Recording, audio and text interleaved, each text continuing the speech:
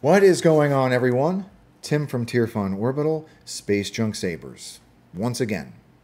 Uh, so, this is going to be a rundown video on an install that I recently completed. I actually completed this one uh, this weekend. Uh, as of recording this video, I finished it this morning.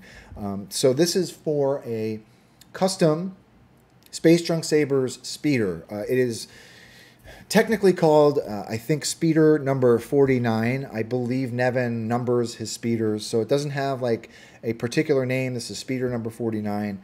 Super, super cool hilt. It's got a Canon Y switch assembly, mount switch assembly on it, and I did set this up with a removable chassis. The client for this particular install wanted a CFX, and I am happy to report that this is the first CFX install that I've done in a while where it wasn't completely painful and annoying for the whole install. I it's become a thing now. I just do not I don't like the CFX, the Crystal Focus board. I don't like it. Um, if I had to choose, I prefer Proffie. That's probably because I've just done more Proffie installs. Um, and at this point, I can I can probably do a Proffie with my eyes closed.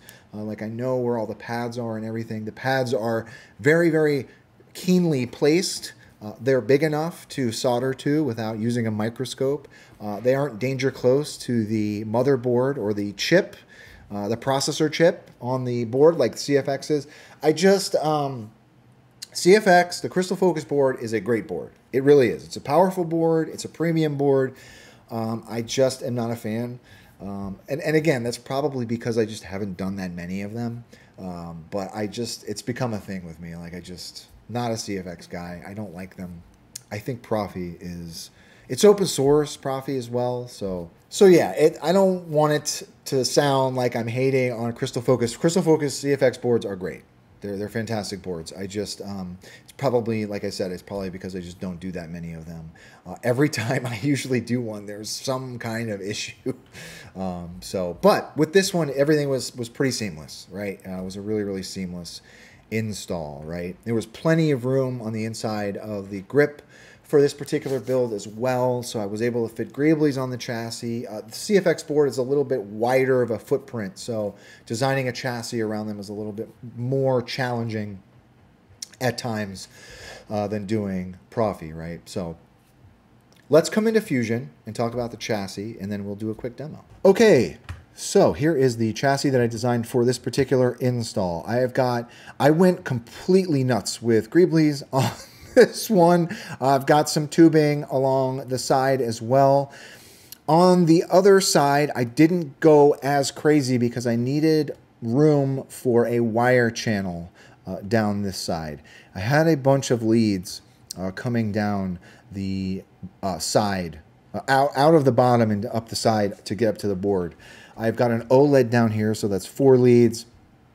I've got my negative uh, battery lead, and I also have my uh, speaker, my two speaker leads. So I needed a lot to come up that wire channel. So just some simple uh, kidney uh, kidney shaped grills here, uh, just to make it a little bit more unique than I like. I just really just don't like having any bare areas on a chassis. I think that looks uh, looks a little silly to me. Uh, so I like having uh, any kind of groove or channel. It also, doing that, it, when you uh, rub and buff a chassis, it, it makes it look a lot more uh, unique and dynamic. So I try to put some kind of channel or groove on every single square millimeter of the chassis, okay? Up top, God, you're probably getting dizzy with my camera work here. Up top, let's get rid of this grill. So up top, up top. Uh, down at the bottom, we've got an OLED. This is, uh, I believe I put a blue OLED in here. This is underneath the chassis, uh, and my leads uh, come out the bottom. So I, I, I, wire up the OLED essentially, and then slide it in this channel. Okay, 28 millimeter speaker down here. This is from Smuggler's Outpost. CFX does sit in this uh, tray. It will slide up underneath this lip as well to help it to secure. Around bottom, we've got a kill switch here. Battery tray is here. I so another thing that I'm starting to do, right? So up until this point, uh, with with battery tabs and me, uh, I I'm a complete Neanderthal. I just use you know generic uh, battery tabs and glue them in place. Uh, I feel it's probably about time to start getting a little bit more refined for my battery tabs. Okay, so uh, up top here is a square positive battery tab. It sits in this indentation. At the bottom here, I'm still using the spring battery tabs, but I've just kind of created uh, a, a, holder for them just to make it look a little bit more professional instead of just, I mean, there's nothing wrong with gluing your battery tabs in, but I just kind of, I think it's time for me to start, start doing something a little bit more, more clean looking, right? And that's it. Up top, we've got, you know, again, there's nothing wrong with gluing your battery tabs in place. I just want people to know that. I just, um, you know, I'm just trying to like refine some of my some of my uh, processes. Okay.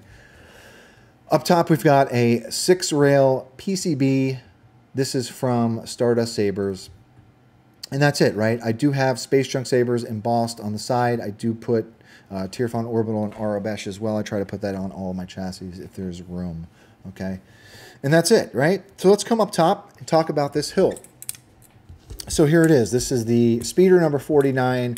Uh, this is, you know, again, I say this all the time. I can look at a hilt and tell when it comes from Space Junk Sabers, uh, much like I can look at a hilt and tell when it comes from, you know, uh, Starfall or one of the other uh, unique one-off sabersmiths out there, right? So Nevin does put his own aesthetic on these grips and these hilts. Uh, and this is no different, right? Some really, really unique touches. I do have, I do love the Canon Y switch assembly. This is a Canon Y mount. Uh, I have wired this up. There are two tactile buttons underneath this clamp card that serve as your main and your aux. And just some really, really nice, nice touches around the pommel. We've got some heat staining. There is a D-ring. So one of the, you know, one of the things I really love about builds like this is just the amount of found objects that are put on on the the hilt. This is like a steel bike clamp almost uh, that has been heat stained. Uh, you know, up top, I know that this is from a Graflex uh, battery holder or, or battery tube. Just a really, really nice, unique hilt. Okay. Blade plug was also provided uh, by Space Junk. So this is a removable setup, right? So to get at your chassis, well, let's talk about the inside of this hilt first, right? So there's the six rail PCB pin side, okay? You don't need to take the grip off to put the chassis in. In fact, you, you can't. So to put the chassis in, the pommel does unscrew, okay? So you unscrew your pommel. Take that chassis. So here is the chassis for this build. I did do a pass of pewter, rub and buff. There's that OLED. We've got our CFX board here. Plenty of room to get the SD card out. If you do, to the client, if you do need to get it your USB, the CFX does slide out of this tray. Uh, I will say just try to be a little uh, delicate when you're sliding this CFX board out. Um, it is it's press fit in there, but just you know just be delicate with it if you need to pull it out. Here is the battery tray, kill switch up top, and there's our 28 millimeter speaker. So to use the chassis, take your battery. Flat part of your battery is the negative side. I had a little trouble getting through that. Uh, negative side towards the, uh, the speaker, essentially. And hit your kill switch. There's that OLED. So this has been set up with the most recent uh, firmware release of CFX that has uh, twist, twist to activate, twist to deactivate. So I set that up on that first font there. And that's it, okay? So, once you get your battery in, you want to slide your chassis in the bottom of the hilt till it stops. Take your pommel, screw that pommel in, and you're ready to go, okay? So there is that lit PCB. Let's come down to the bottom Man, this thing sounds great. See what else we put on here. Sound bank selection. Nightfall. Second sister. Outstanding. So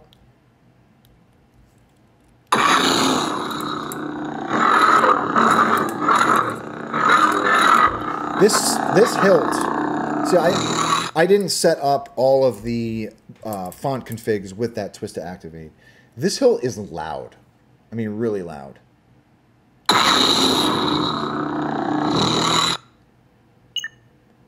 Sound bank selection. Second sister.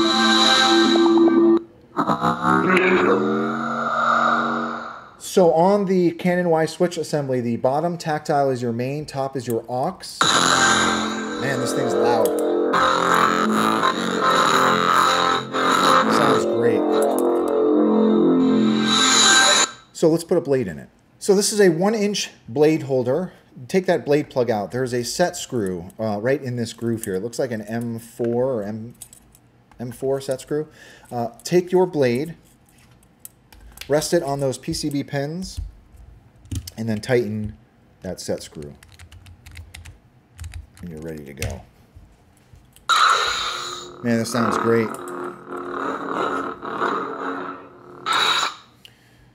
And you're ready to go. So I've written the in the config. This is for a shorter blade. It's actually in my my personal hilt back here. Uh, but that can be edited in the config as, as you, the client, see fit. Let's see what else we've got here. Sound bank selection. Nightfall. Second sister. Outstanding. So I just set this up with my like stock CFX config. Not all of the blades or not all of the fonts Sound have been have been I'm having a hard time talking today. Uh, not all of the fonts have been set up with twist to activate, You're in fire. and some of the timings for the swings need to be changed. Um, yeah. Great hilt. Sounds really good. Yeah, it's one of the things that I, I that confounds me about CFX as well, right?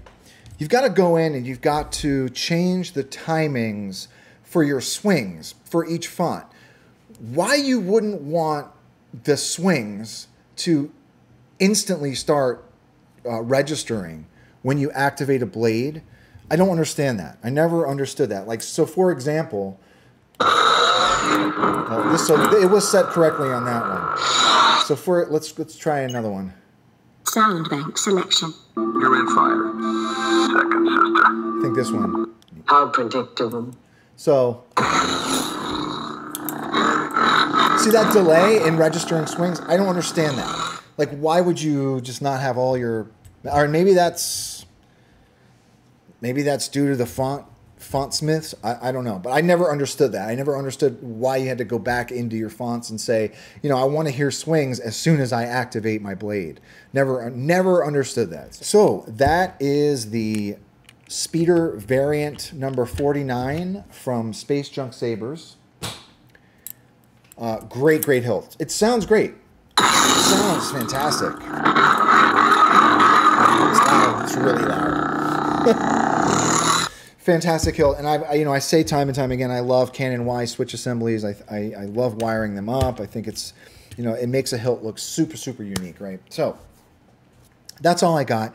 To the client, thank you very much for your patience and trusting me with your install. If anyone has any questions about this particular install or the chassis or anything really, uh, please do not be a stranger. And with that being said, may the force be with you always. Have a good one, everybody.